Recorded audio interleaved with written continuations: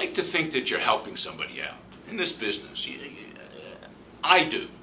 I like to, and uh, sometimes in a trial, you, you get kind of close to your to your client. It's just you and him and the rowboat in the middle of the Atlantic, you know. And I had this one case where it was like a three-week murder trial, multi-defendant, but my guy loved to hear what I ate for lunch. Just loved it. He, what would he have? He'd have a jelly bean sand, a jelly uh, jelly sandwich, maybe sometimes a bologna sandwich. You know, two pieces of white bread. You know, so he loved to hear what I had. You know, if I told him I had a lettuce and tomato sandwich, with a slice of cheese, and uh, toasted rye, which was my favorite at the time, which I'd get at the Caltrans uh, cafeteria down the street, which is fast and not a lot of people and cheap, and you know it would disappoint him. He said, you couldn't throw a piece of meat on there?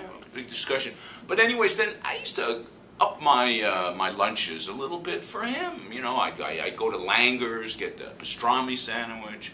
You know, I got a cholesterol problem. I don't know if you probably couldn't notice this on me, but I got a, uh, like the heart, the cholesterol. I got to take Lipitor and I got to take all that stuff. I'm not supposed to have pastrami. My cardiologist, she'd kill me. But for him, I do it because I'm in the helping profession.